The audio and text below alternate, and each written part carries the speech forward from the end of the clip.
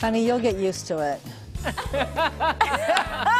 you know, I was having a really difficult time. Oh. Yeah. But we'll go to lunch and talk about it. Time for this hours.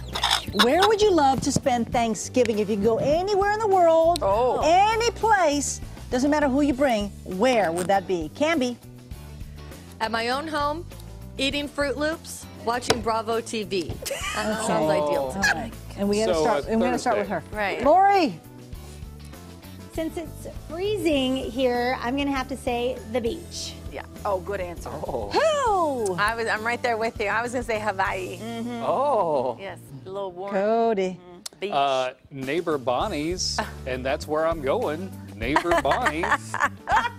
Cokes. Uh, I'm gonna say somewhere in the Midwest, just because my mother's family is there. Uh-huh. It'd be nice to, you know, go visit them. Somewhere in Ohio. Okay, Jordan.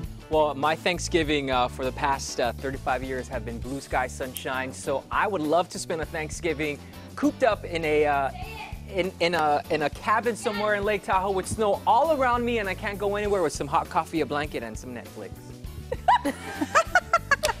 Dina. Jordan took the words right out of my mouth. Uh, I was going to say, duh, in the snow. Do you see how much powder is up there go, right let's now? go, Dee, let's in go. the snow. Hello. Yes. yeah, Tahoe. Anywhere along the California coast. Just have a little beach house or something. Let's look out Yep. there, write haikus, you know, play my ukulele, Oh, write some songs. Yes. Okay, Jimmy Yeah. Buffett. Have some extra bread since I am carb queen. Carb Queen. Queen of the cobs. Happy Thanksgiving, you guys. Please, I love you guys. We're back here tomorrow. Yes, Well, happy I'm not. Thanksgiving. Wow. All right.